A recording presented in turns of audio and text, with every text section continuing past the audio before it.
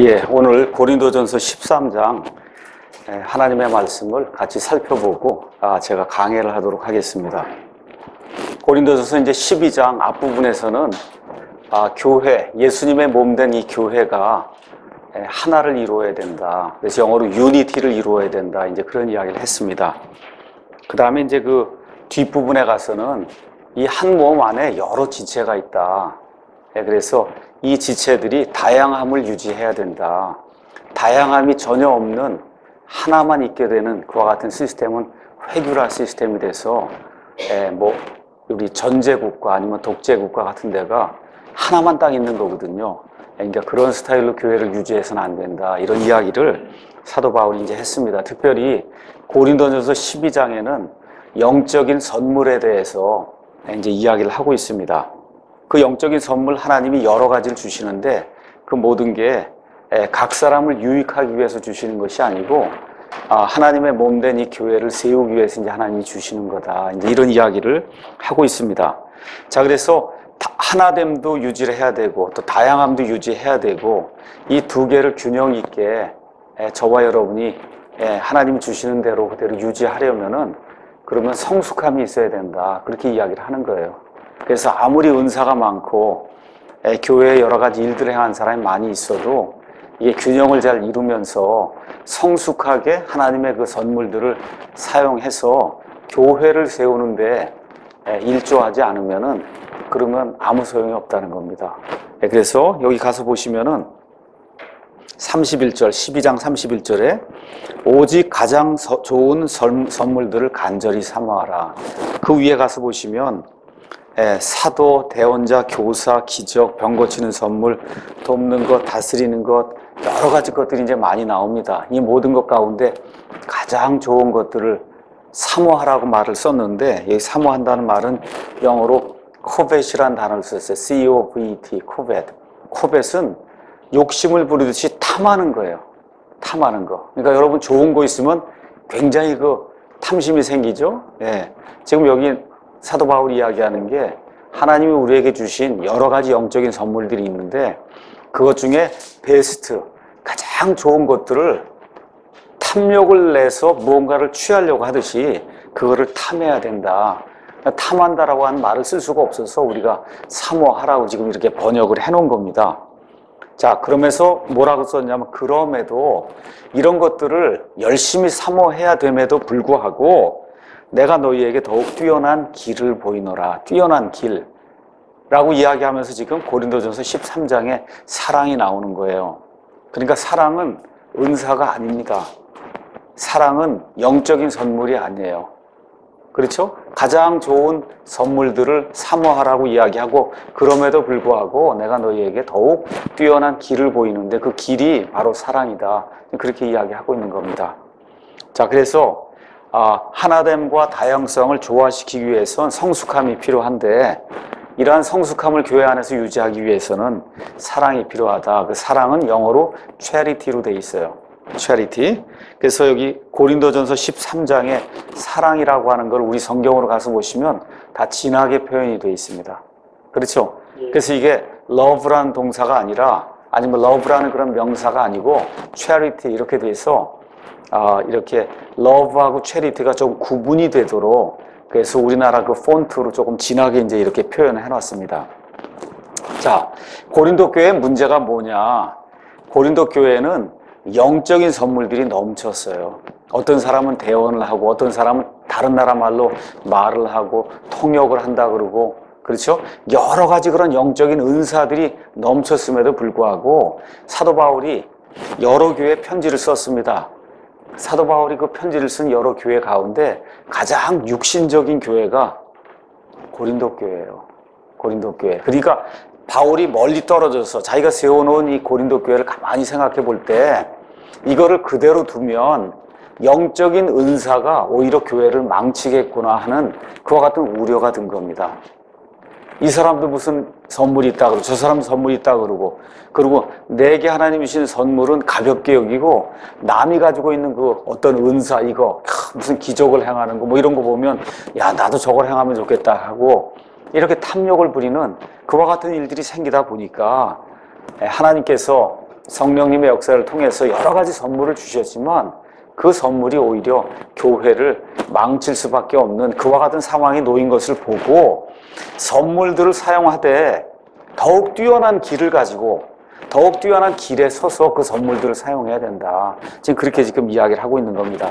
다시 한번 말씀드리지만 고린도전서 12장 7절 가서 보시면 각 사람에게 성령의 나타나심을 주신 것은 다시 말씀드려 예, 하나님께서 교회 안에 모든 사람들에게 하나님의 선물을 주셨다는 겁니다. 그 주신 목적은 뭐냐? 그것으로 말미암아 모두가 유익을 얻게 하려 하심이라. 어떤 사람이 예, 가르치는 것 같은 예, 영적인 선물을 받았다. 그러면 나만을 위해서 쓰는 게 아니라 모든 사람의 유익을 위해서 써야 된다는 거예요. 고린도 교회 같은 때는 그 당시에 다른 나라 말을 하는 보통 우리가 방언이라고 하는 그와 같은 은사를 가진 사람들이 있었습니다. 방언을 통역하는 그런 사람들도 있었어요. 근데 이런 것들이 개인의 어떠한 그 과시욕을 이렇게 드러내기 위한 그런 용도로 쓰이면은 아무 소용이 없다는 거예요. 그러니까 성경에 나와 있는 하나님의 선물은 몽땅 다 교회라고 하는 이러한 그 하나님의 공동체가 있을 때 그 교회를 세우기 위해서 하나님이 주신 거다. 그렇게 저와 여러분 이해하셔야 되고 성령님의 선물은 특별히 이 성령님의 선물 중에서 특별히 우리가 성령님의 열매라고 하는 것은 개인의 인격과 상관이 있는 거거든요. 그래서 개개인의 그 인격의 변화를 가져오는 것은 성령님의 열매고 교회 안에서 이렇게 개개인들이 모여서 교회를 이렇게 형성하게 될 때 거기서 하나님의 선물들 하나님이 여러 사람들에게 주신 것은 그 교회 안에 모든 사람들이 유익을 얻게 하도록 그렇게 하기 위해서 하나님이 주신 거다. 이제 그렇게 이야기하고 있어요. 그래서 성숙한 지체 아니면 성숙한 교회 이게 특성이 뭐냐? 하나님을 사랑하고 하나님을 사랑하면 하나님의 말씀을 사랑하게 돼 있어요. 그 다음에 교회 성도들, 이 지체들을 사랑하고, 그 다음에 하나님의 말씀을 알지 못해서 구원받지 못한 그런 사람들을 사랑하는 것, 이것이 성숙한 지체나 성숙한 교회에 드러나는 어떤 그런 모습이다. 우리가 그렇게 이제 이야기를 할 수가 있습니다. 특별히 우리가 이제 교회를 형성해서 사랑 침례 교회를 지금 하고 있습니다. 여러분 아시다시피 먼 지역에서 오시는 분들도 많고 서울 인천 지역에 사시는 분들 모르긴 해도 한 6, 70% 정도 될 거예요. 나머지 멀리서 오십니다. 이렇게 하다 보니까 금요일 날 한 30명 정도 이렇게 모이고 그 다음에 주일날 뭐 아이들 포함해서 지금 한 450명 모인다 이러는데 지금 문제가 뭐예요? 누가 누군지 모르는 거예요. 누가 누군지 몰라요. 많은 경우 그렇습니다. 근데 더 큰 문제는 뭐냐? 알려고 하지도 않는다는 거예요. 네, 그렇죠? 이게 킹잼 성경 이거 하나 알면 되지. 저 옆에 있는 지체에 대해서 내가 관심을 가지고 알 필요가 뭐가 있냐. 심지어 이렇게 생각하는 사람도 있다는 겁니다.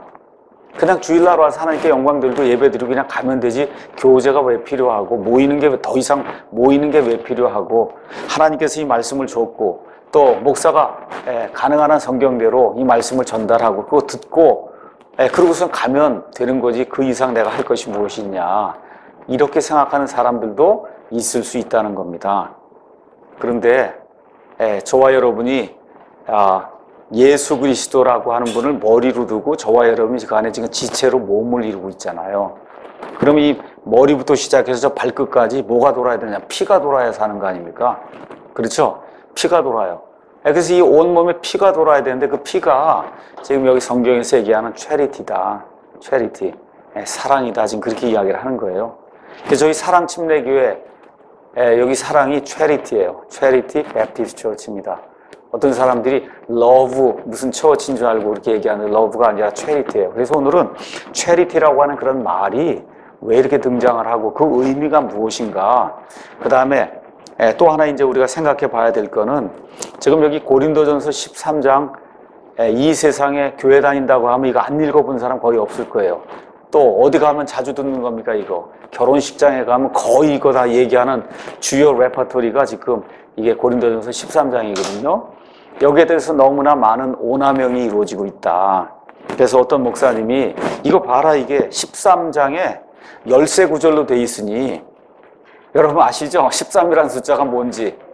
그렇죠. 그래서 이게 참 오남용 될 수밖에 없는 그런 성경 구절이다. 그렇게 이야기하는 분들도 있어요.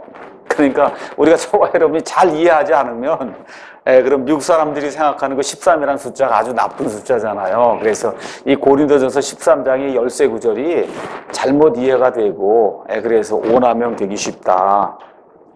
가장 큰 오남용이 뭐냐 하면 예, 어떤 사람이 오류를 범할 때 예, 당신 지금 그거 하고 있는 건 오류입니다 하고 성경의 진리를 가르쳐 줘도 안 들어요. 그렇죠? 모든 걸 다 덮어주는 게 사랑이지. 예, 오류를 지적해서 바른 길로 가라고 얘기하는 건 듣기 싫다는 겁니다. 듣기 싫다.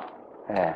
그러니까 오순절 은사운동 어떤 사람이 빠져서 랄랄랄라 대고 예, 그리고선 그것도 연습을 하잖아요. 연습을 하고 그러면 그 연습하고 그러는 건 방언이 아닙니다. 그렇게 얘기하고 성경에 나와 있는 방언은 다 다른 나라 말입니다. 이거 알아듣지 못하는 쌀락쌀락 아닙니다. 그렇게 얘기하고 그러면 사랑으로 다 덮어줘야지. 왜 그런 거를 이야기하느냐. 이렇게 이제 얘기할 때 사용하는 게 고린도전서 13장이에요. 고린도서 13장.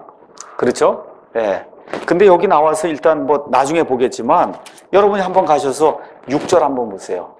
여기 성경이 이야기하는 그 체리티는 불법을 기뻐하지 아니하고 진리를 기뻐하는 거예요. 이게 체리티라고 지금 정의가 내려져 있는 겁니다. 예.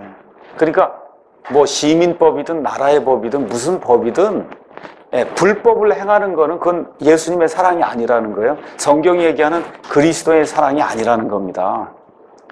지금 저 구원파 예, 유병원 지금 잡아간다고 하고 그러니까 지금 금수원에 사람들이 그냥 계속 몰려들고 있잖아요. 보호해야 되겠다고. 그렇죠? 그게 뭐예요? 불법을 기뻐하는 거잖아요.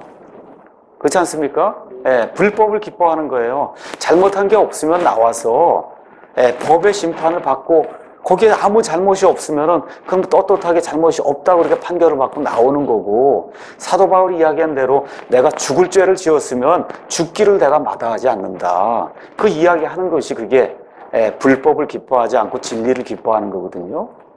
근데 이제 사람들 생각에는 사랑 그러면 그냥 모든 걸 다 덮어줘야만 된다. 이런 식의 사랑을 예, 하나님의 사랑이라고 착각하는 그런 경우가 굉장히 많다는 겁니다.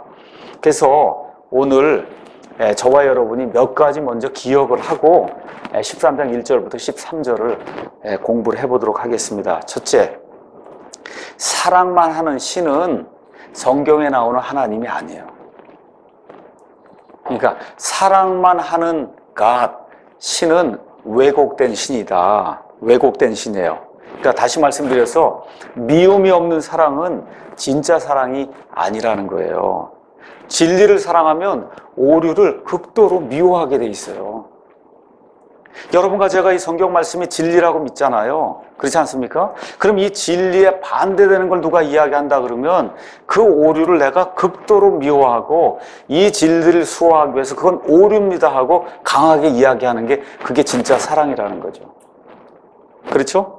예, 깨끗한 것을 사랑하면 그만큼 뭐 해야 돼요? 더러운 것을 미워해야 된다는 거예요. 성경의 하나님이 그런 하나님이다.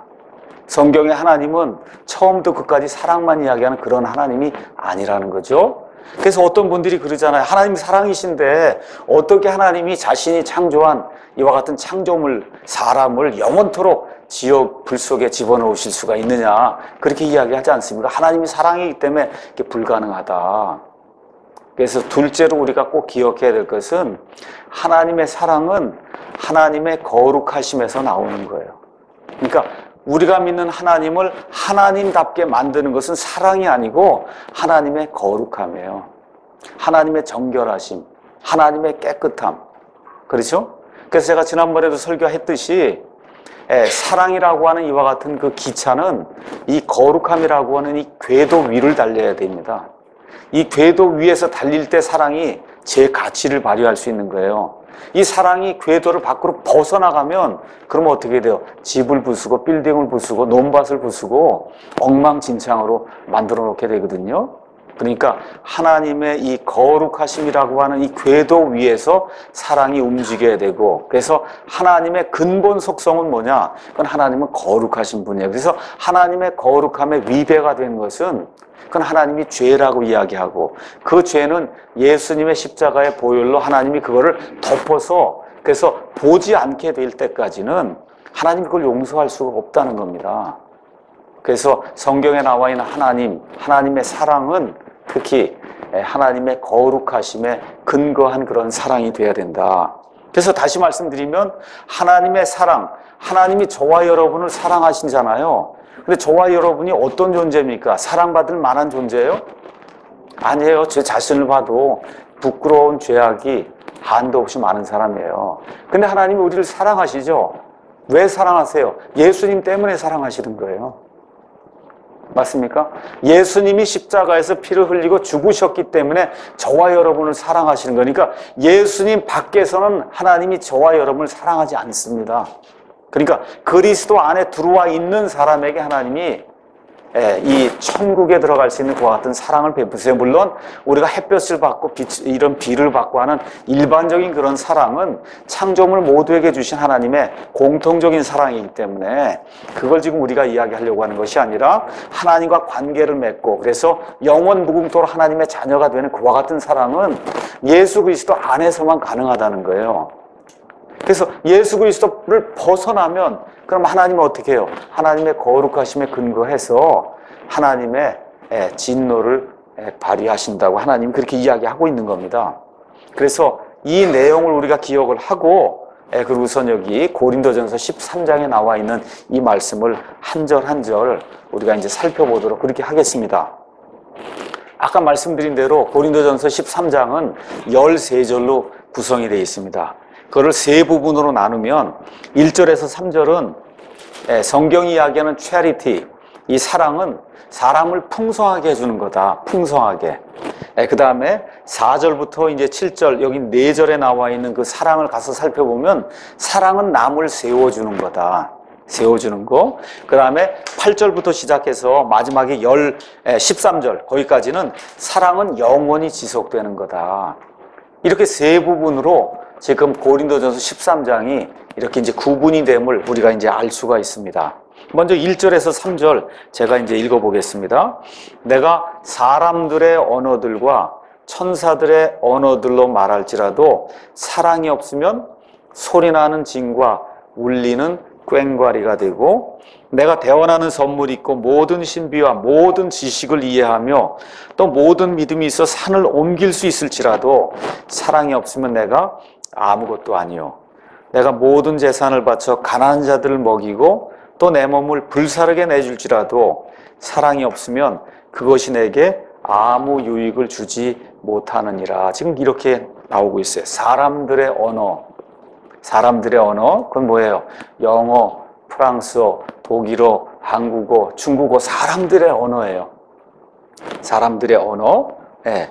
예. 그래서 이게 방언이라고 보통 이야기하는데 우리말로 예, 방언, 그 다음에 가서 보니까 대언. 이 당시에는 아직 성경 기록이 예, 계시록까지 주어지지 않았기 때문에 직통 계시를 받아서 하나님의 말씀을 대언하는 그런 사람들이 있었고 그런 사람들이 주는 대언이 있었습니다. 또 어떤 것이 있냐? 지식. 지식이라고 하는 것이 있어서 지식은 두 종류의 예, 지식이 있다 이제 그렇게 이야기했습니다. 그래서 잠정적인 그와 같은 아, 이 청지기 선물로서의 그 지식은 이렇게 대원이 하나님에게 주어질 때 그거를 느껴서 깨달아 알 수 있는 어떤 그런 형태의 지식.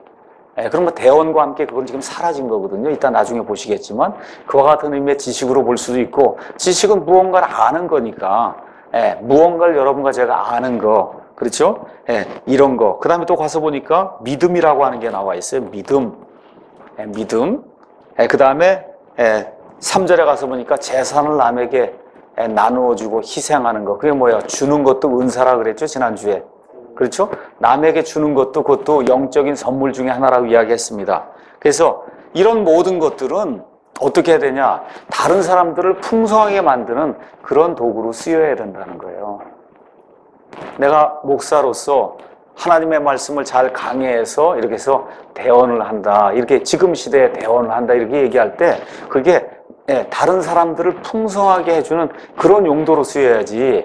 이 목사가 이 앞에 서서 비판하고 책망하고 꾸짖고 이것만 해갖고 사람들 마음을 상하게 하게 되면 그럼 소용이 없다는 거예요. 그게. 그렇죠? 그래서 다른 사람들의 삶을 풍성하게 하고 예, 윤택하게 하는 그와 같은 용도로 쓰이지 않으면 이 모든 게 다 헛거다. 지금 예, 사도 바울이 그렇게 이야기하는 겁니다. 그래서 에베소서 4장 15절의 그 표현을 따를 것 같으면 은 우리가 성도들끼리 무언가 진리를 이야기할 때도 사랑 안에서 진리를 얘기해라. 사랑 안에서 내 지식을 과시하거나 남을 무시하기 위해서 예, 그렇게 말하지 말고 사랑으로 사랑하는 그러한 태도를 가지고 그리고 진리도 이야기해라. 예, 데살로니가 전서 4장 9절 가서 보시니까 예, 하나님께서 우리 모든 성도들에게 서로를 사랑하라고 그렇게 명령하시고 가르쳐 주셨다고 성경이 이제 이야기하고 있습니다. 그래서 이 사랑이라고 하는 건 특별히 우리 예수님께서 죽기 바로 전날 예, 제자들의 발을 씻어주고 하시면서 요한복음 13장에 이렇게 이제 말씀을 주셨습니다. 요한복음 13장 34절, 35절. 내가 새 명령을 너에게 주노니 너희는 서로 사랑하라. 내가 너희를 사랑한 것 같이 너희도 서로 사랑하라. 너희가 서로 사랑하면 이로써 모든 사람이 너희가 내 제자인 줄 알리라 하시니라. 라고 이야기하면서 예수님이 마지막 유언으로 예, 제자들에게 또 제자들을 통해서 저와 여러분 같이 그리스도인들에게 주신 그 말씀이 뭐냐? 서로 사랑하라는 거예요. 서로 사랑한 거. 자, 1절 가서 보니까 예, 내가 사람들의 언어들과 천사들의 언어들을 사도 바울이 말을 한다 그래요? 아니면 말을 한다고 가정할지라도 그렇게 가정을 해요. 예. 이거 성경 말씀을 잘 이해를 하셔야 돼요. 그러니까 여기 살라살라 이렇게 하는 분들 가서 물어보면 사람들의 말은 아니니까 나는 천사의 말이다. 그렇게 주장을 하거든요. 사람들의 말 하는 사람 못 봤잖아요. 여러분 영어, 불란스 말, 독일어, 중국어로 방언하는 사람 봤어요? 없습니다. 없어요. 그러니까 이상한 말을 하니까 그거를 정당화시키기 위해서 나는 여기 고린도전서 13장 1절에 천사들의 말을 하는 거다. 이제 그렇게 주장을 하면서 바울도 그렇게 말을 하지 않았느냐. 바울은 천사들의 말 같은 거 한 적이 없습니다. 한다고 할지라도 하고 가정을 한 거지. 내가 천사들의 말을 했다고 바울이 이야기한 적이 없습니다. 맞죠?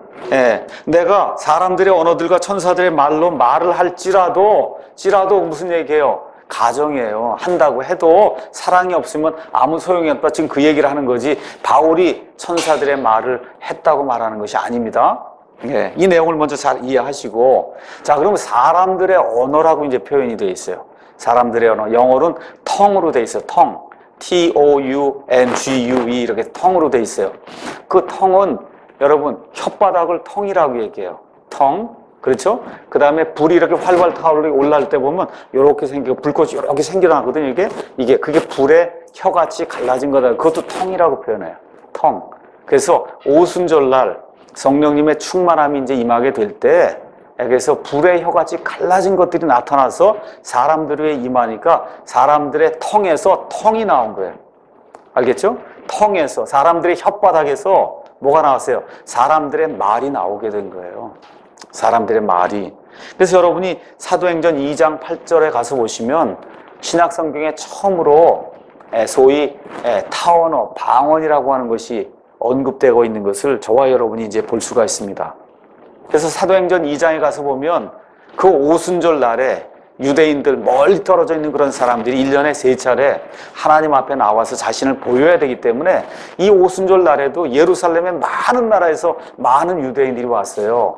거기 가서 보니까 예, 몇 나라에서 사람이 왔냐? 18, 예, 18 지역에서 사람들이 와서 그 오순절날 적어도 18 지역의 다른 나라 말을 제자들이 하는 것을 이 사람들이 들었다고 지금 성경이 기록을 하고 있습니다. 그게 성경에서 얘기하는 타원어의 시초가 이제 되겠습니다. 자, 어떤 사람들, 그럼 또 이렇게 천사들은 무슨 말을 할까요? 성경에 있을까요? 없을까요? 에, 어떤 사람은 분명히 한, 이제 중, 이제 천국에 가면 천사는 한국말을 할 거다. 미국 사람은 미국말을 할 거다. 그렇죠? 그렇게 이야기해요. 예, 아니 성경에 나와 있지 않습니다. 예, 그래서 로크맨 같은 그러한 그 주석자들은 예, 천사들은 분명히 히브리 말을 할 거다. 이제 그렇게 이야기를 합니다. 예, 근데 지금 가봐야 되는 거고 예, 로크맨이 얘기했다고 다 진리가 아닙니다. 가봐야 돼요. 성경엔 안 나와 있으니까 그런 건 모른다고 이야기하는 게 정답입니다. 예. 자, 그 다음에 여기 가서 보니까 사랑이 없으면 소리나는 징과 울리는 꽹과리가 된다 할 때 이 사랑은 love가 아니라 charity라 그랬어요. 그래서 제가 성경에 가서 charity라고 번역이 된 이 단어들 가서 쭉 살펴봤어요. 그래서 몇 번이 나오느냐? 신약 성경에 28번이 나오는데 charity가 예, 그렇게 진하게 사랑으로 표현된 말이 28번이 나오는데 그 28번 가운데 12번이 고린도 전서에 나와요. 고린도 전서에 나와요. 그러니까 고린도 교회에 하여튼 이런 사랑 문제가 있어서 체리티 문제가 있었기 때문에 사랑 사랑 사랑하고 지금 사도 바울이 강조를 하고 있구나. 그렇게 저와 여러분이 일단 이해하시면 좋을 것 같습니다. 자 그러면 체리티로 번역이 된 그리스 말은 아가페예요. 여러분 잘 아시는 대로. 그래서 여기 사랑 침례 교회 시작하자라고 얘기했으니 어떤 분이 그럼 교회 이름을 아가페 아가페 예, 이 베프티스 처치로 하면 좋겠네요. 예, 그렇게 이제 이야기하는 분도 있었어요. 예, 그런데 아가페라고 한 말은 두 말로 번역이 됩니다. 하나는 사랑으로 번역이 되고 하나는 체리티로 번역이 돼요. 그래서 아가페가 몇 번 나오냐? 117번이 나옵니다. 117번. 그 117번 가운데 28번만 charity로 번역이 되고 나머지 89번은 love로 번역이 됐어요. love. 아, 그러니까 아가페라고 하는 그 말도 예, 같은 예, 그리스 말이지만 이렇게 두 가지로 이제 번역이 될 수 있구나. 여러분 요한복음 21장에 가서 보시면 부활하신 이후에 우리 예수님께서 베드로에게 나타나셔서 네가 나를 사랑하느냐, 내가 나를 사랑하느냐, 내 양들을 먹이라고 세 번 이야기하잖아요. 그렇죠? 예, 이런 거 이야기하면서 아가페, 아가페라고 하는 그런 그 사랑이란 말을 예수님이 쓰신 적이 있고 필레오라고 하는 그런 사랑의 말을 쓴 적이 있고 해서 예, 이 아가페라고 하는 그리스 말하고 필레오라고 하는 그리스 말이 그 두 개가 워낙 차이가 있는 거다 하면서 무슨 원어 실력을 자랑하기 위해서 예, 두 개가 큰 차이가 있는 것처럼 많은 목사님들이 이렇게 설명을 합니다. 근데 성경의 용례를 가서 여러분 살펴보시면 아가페나 필레오는 큰 차이가 없이 예, 사랑으로 번역이 될 수 있다는 그런 사실을 알 수가 있고요. 다만 체리티로 번역이 된 말은 그거는 아가페예요. 필레오라고 하는 그리스 말은 여기 체리티라는 말로 번역이 되질 않았습니다. 일단 그 내용만 이해를 하시고요. 자, 그러면 여기 나와 있는 사랑은 어떤 사랑이냐? 예, 이 사랑은 그리스도인이 다른 사람에게 보여줘야 되는 그런 사랑이다. 이걸 또 다른 식으로 얘기하면 예수님이 우리에게 보여주신 그 사랑이다. 그렇게 이야기할 수 있어요. 그 예수님이 우리에게 보여주신 사랑이지만 여기 13장에 나와 있는 1절부터 가서 보시면 그게 내가 다른 그리스도인들에게 보여줘야 될 그런 그리스도인의 사랑을 지금 체리티로 이야기하고 있다. 한정적으로. 그렇게 우리가 이제 볼 수가 있습니다. 자, 그러면 체리티는 무슨 뜻이냐? 여러분이 가서 한영사전 이런 데 살펴보시면 자선 뭐 이렇게 이제 표현이 되어 있어요. 그렇죠? 그래서 미국에 가시면 여러 가지 자선 단체가 많아요. 자선. 자선이라고 하는 그 영어로 charity organization 그렇게 이야기해요. 그러니까 비영리 단체로서 체리티, 자선이라고 하는 말은 자가 자비롭다는 뜻이고 선은 선을 행한다 그런 뜻이에요. 그러니까 불쌍한 마음을 가지고 남을 위해서 무언가를 선을 베푸는 게 자선이에요. 그게 체리티예요. 그러니까 체리티는 근본적인 뜻이 뭐냐? 주는 사랑이란 뜻이야. 사랑도 여러 가지가 있는데 그 사랑 중에 특별히 체리티는 불쌍히 여기면서 내 것을 희생하며 주는 그 사랑을 성경은 체리티라고 이야기한다. 그러니까 다시 말씀드려 그리스도인이 사랑을 가져야 된다 이야기할 때 이 체리티의 그 사랑은 기본적으로 헌신하면서 주는 그런 사랑을 이야기한다. 그렇게 생각하시면서 여기 13장 1절부터 끝까지 읽어보시면 바울이 이야기한 바를 우리가 이해할 수 있을 겁니다. 저와 여러분 이제 결혼을 합니다. 결혼한 이후에 요새 이런저런 이야기를 드, 들어보면 그러면 특히 우리 남자 형제들이 자매들에 대해서 굉장히 그 무관심한 태도를 이렇게 보이면서 체리티를 베풀지 않는 그런 사례가 많다. 이런 이야기가 가끔 들립니다. 우리 교회는 아니고 다른 교회에서 그렇다고 이야기하더라고요. 예. 그러니까 결혼한 이후에 신혼기가 지나고 난 다음에는 그러면 많은 경우 특히 남편이 아내에게 체리티를 베풀지 않는 경우가 많이 있다는 거예요. 이게 문제가 되는 겁니다. 그러니까 남편은 예, 우리 남편들은 형제들은 가능한 한 체리티를 베풀어야 되겠다. 예수님이 베풀듯이 베풀어야 된다. 늘 기억을 좀 하고 근데 이제 나가서 회사 생활하고 저도 직장 생활하고 이렇게 하다 보면 사실 오늘도 그렇고 전화 한 번은 못 했거든요. 그러니까 일주일에 뭐 하루에 한 번 전화한다는 건 거의 그거 힘든 일이고 예, 일주일에 한 두 번 정도나 이렇게 생각나서 이제 전화를 하거든요. 그러니까 이게 체리티가 이게 베풀어지지 않는 건데 하여튼 좀 노력을 좀 많이 해야 될 것 같아요. 그게 체리티예요. 자, 그래서 바울이 지금 1절에서 이야기하는 것은 땅에 있는 모든 사람들의 모든 말을 내가 한다는 거예요. 또 심지어 하늘에 있는 천사들의 말을 내가 한다. 그렇게 해도 사랑이 없으면 뭐라 그래요? 소리 나는 징과 울리는 꽹과리가 되는 여러분 징 치고 꽹과리 치면 그거 알아들을 수 있어요? 아무 소용없는 거잖아요. 무슨 말인지 어떻게 알아듣습니까? 그냥 그런 말로 뭐 영어다 중국어다 독일어다 해서 아무리 많이 얘기해도 그게 예, 소리 나는 거, 징 물리는 거하고 똑같다는 거야. 아무 소용이 없다는 거예요. 남을 풍성하게 해주지 못하는 게 여러분, 저, 저희 같은 경우 특히 요새 이제 대학에 그건 무슨 농활인지 뭐 이런 거 하면서 그 징치고 꽹과리 치고 하는 그런 아이들이 늘어갖고 수업하기가 어려울 정도로 힘들어요. 특히 점심시간에는 어찌나 시끄러운지. 근데 뭐야, 유익이 안 되잖아요. 자기들만 좋아서는 알뛰지 다른 모든 사람들에게 아주 큰 피해를 줍니다, 이게. 지금 사도 바울이 그 얘기를 하는 거예요. 뭐 여러 나라 말로 뭐 한다고 얘기해봐야 그래야 자기만 좋은 거지 남에게 예, 유익이 전혀 되지 않는다고 지금 이야기하는 거예요. 뭐가 없으면 헌신적인 사랑이 없으면 그렇다고 지금 이야기하는 겁니다. 예. 자, 그 다음에 이제 2절 가서 보니까 내가 대원하는 선물이 있고 모든 신비, 하나님의 모든 신비, 특히 우리 세대주의를 이렇게 지향하는 우리 독립침례교회 성경 신자들 성경을 나눠야 되고 뭐 일곱 세대가 있고 해서 뭐 하나님의 그 경륜은 이런 모든 신비를 내가 다 안다고 이렇게 주장을 하고 이렇게 할 수 있습니다. 그런 신비를 또 여기 가서 보니까 모든 지식을 이해하면 모든 지식 예, 이 땅에는 모든 걸 다 이해한다 해도 또 모든 믿음이 있어 산을 옮길 수 있을지라도 예수님께서 겨자씨만한 그런 믿음이 있으면 이 사람들로 저쪽으로 옮겨가라고 하면 옮겨진다고 얘기해. 그게 믿음 아닙니까? 그렇죠? 그런 믿음이 있어서 산을 옮길 수 있을지라도 사랑이 없으면 내가 아무것도 아니다. 똑같은 이야기를 지금 하고 있는 거예요. 영어로는 I am nothing 그렇게 썼어요. 여러분 something이 있고 nothing이 있는 거 아시죠? nothing이 되면 큰일 나는 거죠. 예, 근데 지금 사랑이 없으면 그 모든 일, 뭐 대원을 하고 목사를 하고 뭘 하고 다 그래봐야 나는 nothing이 된다. 바울이 nothing이라고 얘기하는 거예요. 영이라는 거에 아무것도 아니다. 영, 영이 nothing이거든요. 그 굉장히 심각한 얘기를 하고 있는 거예요. 그렇죠? 예, 그 다음에 이제 3절도 똑같은 이야기인데, 예, 내가 모든 재산을 바쳐 가난한 자들을 먹이고 희생하고 말 그대로 자선단체에 온 돈을 다 기부를 하고 그렇게 해도 소용이 없다. 지금 그 얘기를 하는 거죠.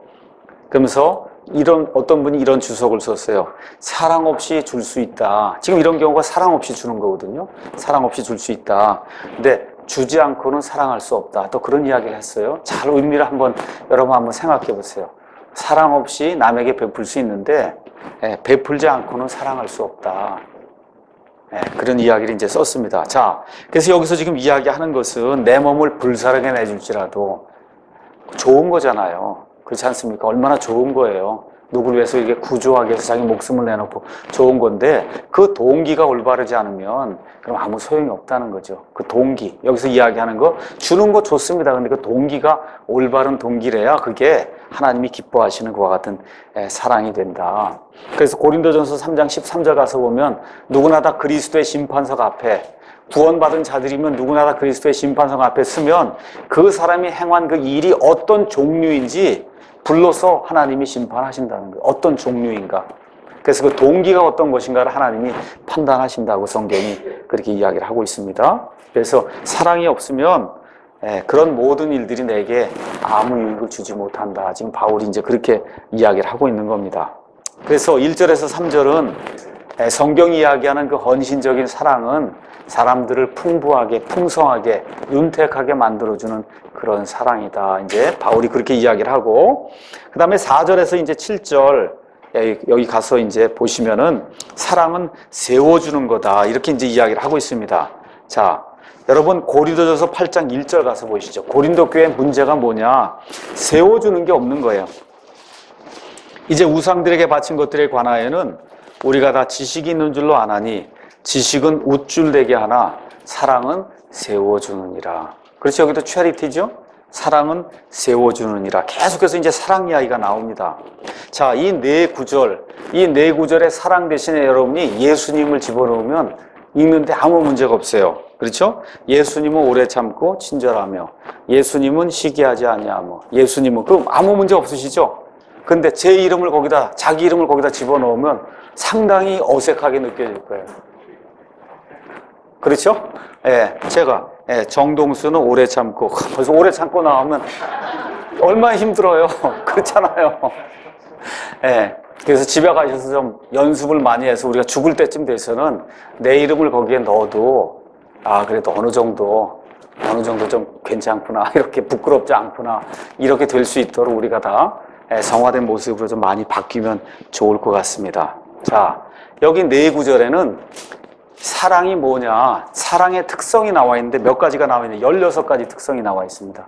16가지 그 16개 중에 일곱 개는 긍정적인 거예요. 긍정적이고 오래 참는다, 뭐 친절하다.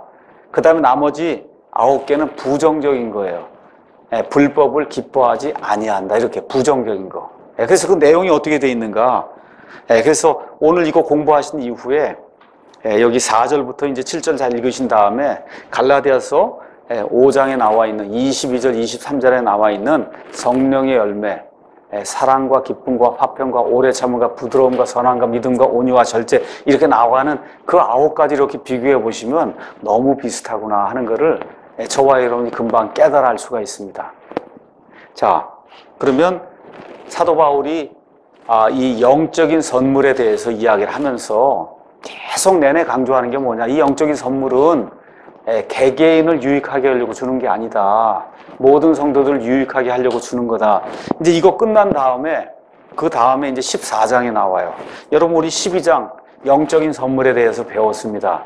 자, 이게 13장 영적인 선물을 어떻게 써야 된다 하고 지금 사도 바울이 이야기한 다음에 드디어 고린도전서 14장으로 넘어가면 고린도 교회에 가장 문제가 된 방언에 대한 게 나오거든요. 그렇죠? 방언. 대원이 문제가 아니었어요. 고린도 교회는 방언. 이 은사들 중에 제일 마지막으로 지금 사도 바울이 얘기한 그 방언 문제 때문에 너무나 혼란이 있어서 지금 그래서 사도 바울이 이 서신을 지금 쓰고 있는 거예요. 그래서 그 14장에 가서 보시면 계속해서 무슨 얘기가 나오냐. 14장 한번 3절 한번 가서 보겠습니다. 14장 3절. 예. 그러나 대원하는 자는 사람들에게 말하여 그들을 세우고 영어로 edify, edify 한다는 거예요. 세운다. 12절 가서 보니까 이와 같이 너희도 영적 선물들에 열심히 있은즉 교회를 세우는 일에 너희가 뛰어날 것을 구해라. 17절도 너는 진실로 감사를 잘하되 예, 다른 사람은 세워지지 아니하느니라. 그렇죠? 예, 방언 다른 나라 말로 이야기하는데 여러분 어떤 사람이 여기로 독일어로 막 이야기하면 여러분 알아들으세요? 못 알아듣거든요. 그러니까 세워지질 않는다는 겁니다. 예, 26절도 가서 보니까 형제들아 그런즉 어찌하리요 너희가 다 같이 모일 때 너희 각 사람에게 찬송시도 있고 교리도 있으며 타원어도 있고 계시도 있으며 통역도 있나니 다 같이 읽겠습니다. 모든 것을 남을 세우기 위하여 할지니라. 이 모든 게 다 남을 세우는 데 사용이 돼야지 예, 자기의 유익을 구하게 되면 이 영적인 선물들이 교회를 망친다는 거예요. 이걸 저와 여러분이 꼭 기억을 이제 해야 되는 겁니다. 교회가 누구 때문에 대개 분열이 생겨요? 재능이 많고 무슨 은사가 있다는 사람들 때문에 분열이 생기지, 예, 평범한 사람들에 의해서 분열이 생기지 않습니다.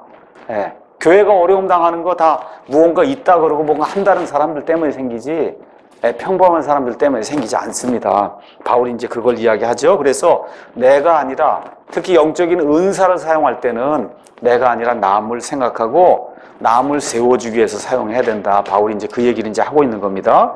근데 우리 아시다시피 지금까지 12장을 고린도전서를 배웠어요. 가서 이거 보니까 고린도 교회 성도들 애찬해서 어떻게 해요? 자기가 싸운 거 자기만 먹고 기다리지 않고 심지어 어떤 사람은 술에 취해 있는 그런 경우도 있고 그렇죠? 또 어떤 일을 했어요? 다른 사람의 은사를 탐해요. 하나님 내게 주신 선물이 있는데 아우 이건 별거 아니다. 남의 걸 탐합니다. 또 교만한 그러한 그 우쭐대는 그런 모습을 보이고 또 어떻게 해요? 남을 또 고소해요. 성도들끼리 세상 법정에 고소하는 그런 일들이 있고 심지어 교회 안에 한 형제가 예, 말로 할 수 없는 그런 심각한 음행죄를 지었는데도 어떻게 해요? 그 형제를 정죄하지 않는다는 거죠. 이러한 일들이 이제 생겼다는 거, 이런 거 있을 수 없는 거다. 하나님의 그 사랑, 이 아가페 그 사랑, 체리티의 그 사랑이 있는 그런 교회라면. 그러면서 4절 가서 보니까 사랑은 오래 참고, 오래 참고, 예, 성령님의 열매 중에 하나입니다. 그래서 그리스도인의 예, 정상적인 성장 과정, 그것 중에 하나가 오래 참는 거다. 제가 예, 결혼과 가정 시리즈 하면서 우리 부부들에게 마지막으로 드렸던 그 메시지가 뭐예요? 오래 참아야 된다. 오래 참아야 된다. 예, 말씀을 드렸습니다. 자, 그 다음에 이제 나오는 것이 뭐냐 하면 친절해야 된다.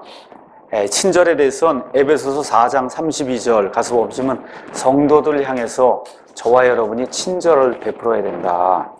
또 누가복음 6장 35절에서 36절 이건 중요한 말씀이니까 가서 한번 읽어보겠습니다. 성도들 향해서 친절을 베푸는 것은 너무 당연한 이야기고 누가복음 6장 35절에서 36절 예수님이 세워놓으신 그 표준은 예, 이 세상 어떤 사람도 뛰어넘을 수 없을 정도의 그런 그 표준을 예수님이 세워주셨어요. 너희는 너희 원수들을 사랑하고 선을 행하며 아무것도 바라지 말고 빌려주라. 그리하면 너희 보상이 클 것이요. 또 너희가 가장 높으신 의 아이들이 되니 그분께서는 감사하지 않은 자, 아니하는 자와 악한 자에게 친절하시니라. 그러므로 너희 아버지께서 긍휼을 베푸시는 것 같이 너희도 긍휼을 베풀라.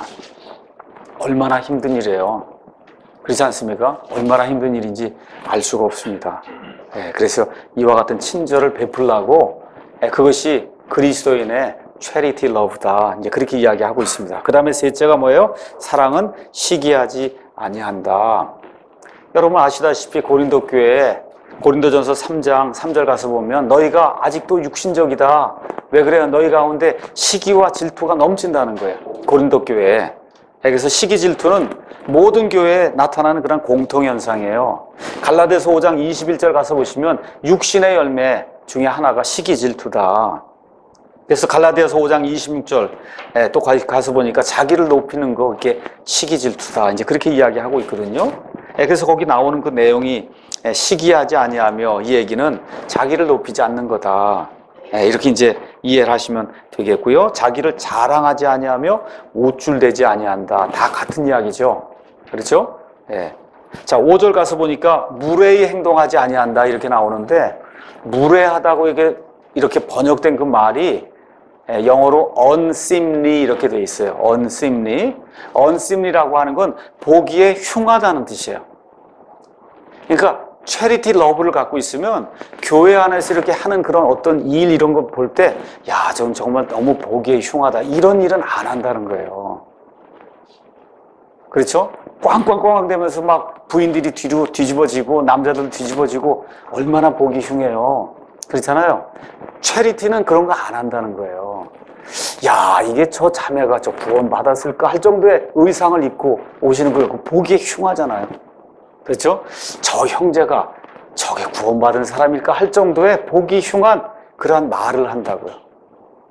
우리가 보통 상스럽다고 할 그런 수준의 예, 구원받았다고 한 사람이 그렇게 하는 거 그거는 charity love를 가지고는 있을 수 없다는 거예요. charity의 사랑은 말하는 것도 무례하게 행하고 이런 거 있을 수 없다는 거죠. 우리 아이들도 마찬가지예요. 구원받았다고 그러고 침례받았다고 하는데 옆에는 애 패고 이러고 이러고 교회에 나오고 이러면 이거 안 되는 거거든요. 그건 charity가 없는 겁니다. 네. 그래서 보기에 흉측한 짓을 안 하는 게 여러분 보시면 알잖아요. 보기에 흉측한 짓을 안 하는 게 체리티다. 예, 그렇게 이해를 하시고 예, 그 다음에 또 가서 보니까 자기 것을 추구하지 않는다. 자기 것을 추구하지 않는다. 예를 들어 고린도전서 9장 가서 보시면 바울이 마땅히 사례비를 받아야 됨에도 불구하고 사례비를 받지 않는다는 거예요. 자기 걸 추구하지 않는다는 이게 체리티 러브다. 예, 바울이 스스로 이제 본을 보여준 겁니다. 제가 이걸 이제 공부하면서 어떤 목사님의 그 주석을 읽었어요. 그랬더니 그 목사님이 아주 그 근본적인 독립침례교회 그 목사예요. 그래서 그 목사님이 이 침, 천주교라고 하는 건그 이단입니다 하고 이렇게 예, 크게 이제 소리를 쳤더니 그 교회 청년들 중에 몇 사람이 천주교 교회에 가갖고 미사 드릴 때 미사 드릴 때 그 방해를 했다는 거 소리를 지르고 그랬다는 거예요. 어떻게 한 거예요? 무례하게 행동한 거잖아요. 그렇지 않습니까? 무례하게 흉측하게 행동한 거잖아요. 그래서 어떻게 했어요? 그 목사님이 예, 그걸 얘기를 듣고는 그 다음날 신부에게 찾아가서 미안합니다 하고 사과했다는 거예요. 그게 체리티다. 그렇죠? 어떠한 그 사상이라든지 체계는 우리가 미워할 수 있지만 무례하게 보기에 흉측한 일을 하는 것은 그건 그리스도인이 행할 그런 일이 아니라는 거죠. 예.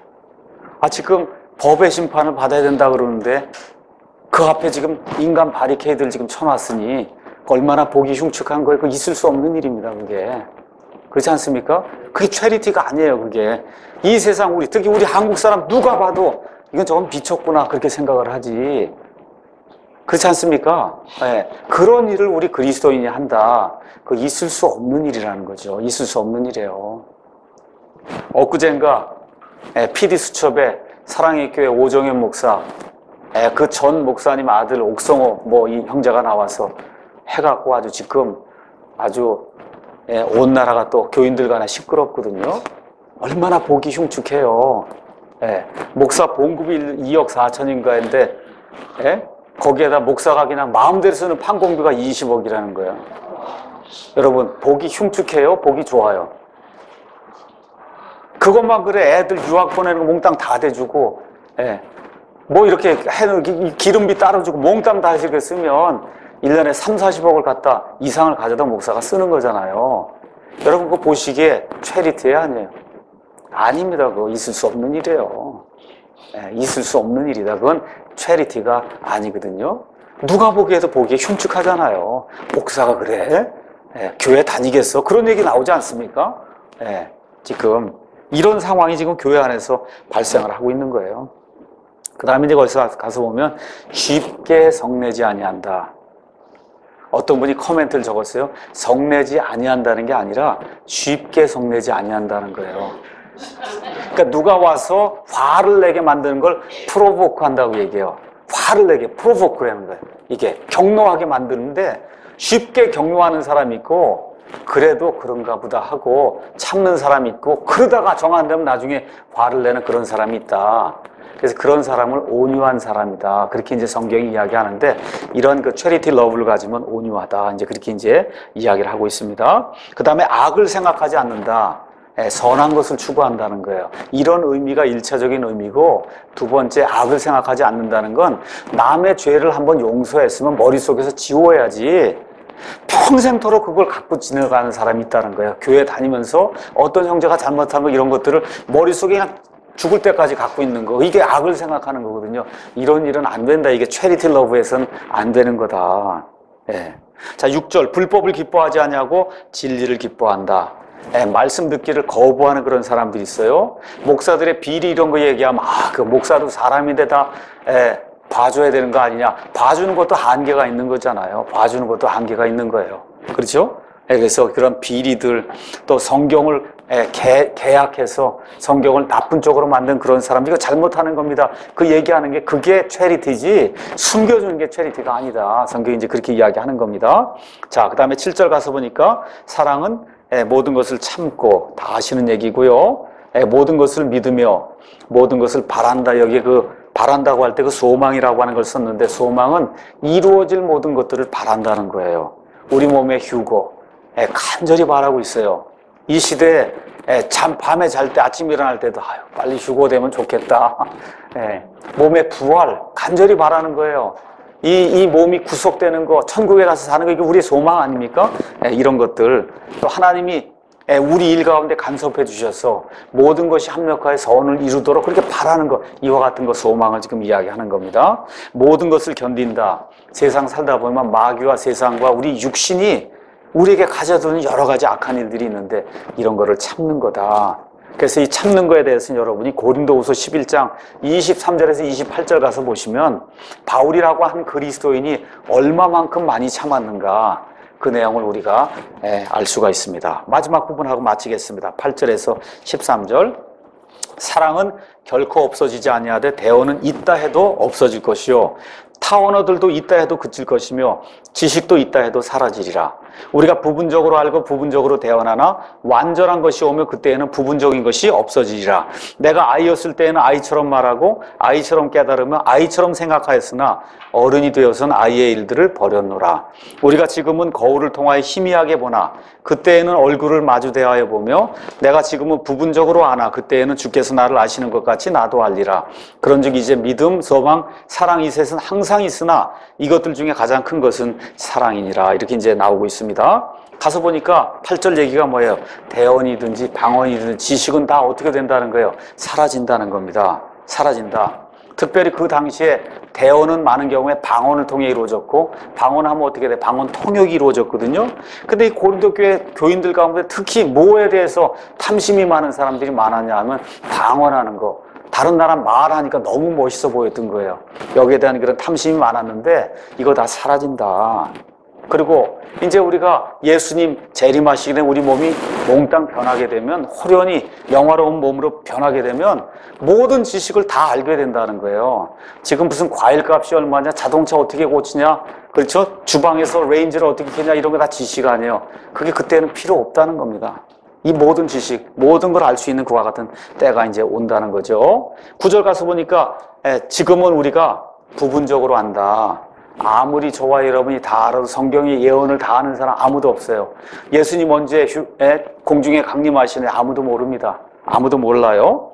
예, 10절 가서 보니까 완전한 거 이야기가 나오는데 10절부터 시작해서 13절 가서 거기까지 완전한 것이 언제 오느냐 예, 두 가지로 이제 이야기를 합니다. 완전한 거. 예, 어떤 사람들은 AD 90년경에 성경이 완성이 된 거, 이것이 완전한 거다. 그렇게 이제 주장을 합니다. 저도 한때 그렇게 이야기를 한 적도 있고 믿은 적도 있습니다. 근데 앞뒤 문맥상 이와 같은 해석은 조금 지지하기 어렵다. 왜 그러냐? 성경의 완성 이후에 여러분 지식이 지금도 남아 있어요? 없어요? 있잖아요.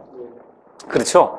그런데 여기 나오는 완전한 게 오면 대원도 타원어도 지식도 다 사라져야 되거든요. 그래서 여기 나와 있는 그 문맥을 여러분이 가서 보시면 현재는 불완전하지만 앞으로 예수님 재림하시게 되면 그러면 모든 게 완전하다는 그런 의미로 보는 것이 문맥적으로 맞다. 예, 특히 12절 가서 보시면 우리가 지금은 거울을 통하여 희미하게 보나 그때에는 예수님 재림하셔서 우리 몸이 영화롭게 변하는 그때가 되면 얼굴을 마주 대하여 보며 내가 지금은 부분적으로 알지만 그때에는 주께서 나를 아시는 것 같이 나도 알게 된다. 모든 걸 알게 되는 그런 때가 있다 해서 앞뒤 문맥상 이것은 재림의 문맥으로 보는 것이 예, 더 좋을 것 같다. 이렇게 이제 생각하시면 되겠고요. 자, 그 다음에 11절 가서 보니까 고린도 교회 성도들을 아이로 비유했어요. 아이들이 지금 장난감 갖고 놀면서 이게 세상에서 가장 좋은 걸로 생각하는데 여러분과 제가 커보니까 장난감이 아무것도 아니잖아요. 그렇지 않습니까? 예, 아이들 아무것도 모르니까 스마트폰이 있는데도 모르잖아요. 근데 아이가 조금 들어보니까 스마트폰이 장난감보다 훨씬 좋다는 걸 열살만 되면 알지 않습니까? 그렇죠? 예, 그렇게 된다는 거예요. 지금 고린도 교회 성도들이 뭐 방언한다 그러고 뭐 한다고 그러는데 이게 뭐예요? 애들 지금 장난감 갖고 노는 거하고 좀 똑같다. 지금 그렇게 이야기하고 있는 겁니다. 자, 그러면서 교회나 개인이나 모두 성장을 해야 된다. 어른이 돼야 된다. 이러면서 최종적인 완벽함이 오는 것은 예수님의 재림의 때에 이루어진다. 12절 예, 재림이 이루어지면 그때는 우리 몸이 이제 변하게 돼요. 그래서 영화로운 몸이 되면 그러면 저와 여러분이 저와 여러분 자신에 대해서 잘 모릅니다 지금. 근데 우리가 영화로운 몸을 갖게 되면 그때 가면 우리 자신에 대해서 예수님이 우리를 아시는 것처럼 우리도 알게 된다. 우리 자신에 대해서. 다른 사람에 대해서. 다른 사람이 가지고 있는 모티브, 동기에 대해서. 내가 어떤 일을 했을 때 그 동기가 무엇인가 나 자신도 모를 때가 많아. 이 세상에 살 때는. 근데 그때 가면 그 모든 것을 완벽하게 아는 그런 때가 이제 온다는 거죠. 맨 마지막 절에. 그래서 예수님의 재림이 이루어지면 그러면 믿음은 뭐가 돼요? 보는 게 돼요. 그렇잖아요. 영원한 저 세상에서는 더 이상 믿음이 없어요. 뭐가 있어요? 보는 존재가 하나님이 보는데 믿음이 무슨 소용이 있어요? 믿음이 보는 걸로 바뀌게 되고 우리가 가지고 있는 모든 소망은 다 성취가 되고 그래도 뭐는 남아있다는 거예요. 아버지 하나님과 아들 하나님과 성령님과 우리가 사랑하는 그 사랑은 영원히 남아있다. 그렇기 때문에 이 세 가지 중에 가장 큰 것이 사랑이다. 지금 그렇게 이야기하는 겁니다. 그 결론의 말씀은 사랑이 다른 모든 은사보다 더욱 크고 중요하다는 거예요. 사랑은 은사가 아니지만 은사들을 바르게 쓸 수 있는 그런 통로가 사랑이다. 그렇게 이야기하기 때문에 매우 뛰어난 길이다. 그래서 14장 넘어가서 1절 가서 보니까 사랑을 따르고 영적 선물들을 사모하라. 그렇게 나오는 거예요. 그러니까 이 사랑을 따르지 않고 영적 선물만 추구하면 그건 잘못된다는 거죠. 예, 이런 내용이 고린도전서 13장에 예, 우리를 위해서 기록이 되어 있습니다. 여기까지 하고 마치겠습니다.